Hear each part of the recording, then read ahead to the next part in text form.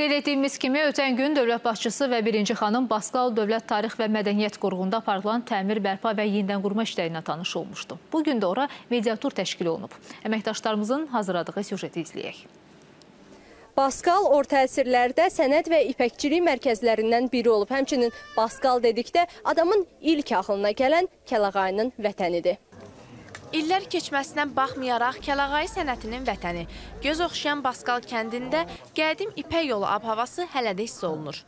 Vaxtilə 1860-cı ildə bizim Baskallımız e, Nəsrullah kişi Londonda nümayiş elətdirib, gümüş mükafata layiq görülüb Baskal Kəlağayısı.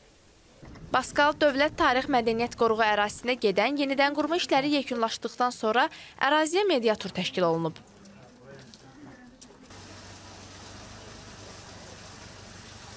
Tikilinin e, fasadını yerli daşdan, e, damını isə burada istifadə olunan e, metal vərəqələrdən e, layihələndirdik.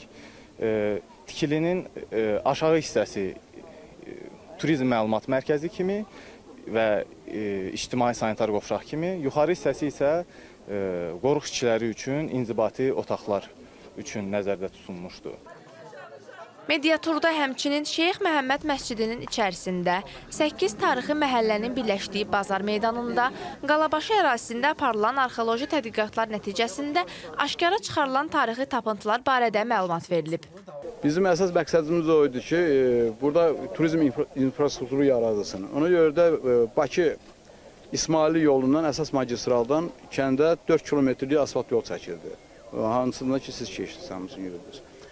Ondan sonra Turizm İnformasiya Mərkəzi və 50 maşınlıq avtodayanacaq yaradıldı. Baskal qəsəbəsində iki tarixi küçə hal-hazırda təmir olunubdur, yenidən qurulubdur və turistlərin ixtiyarına verilibdir.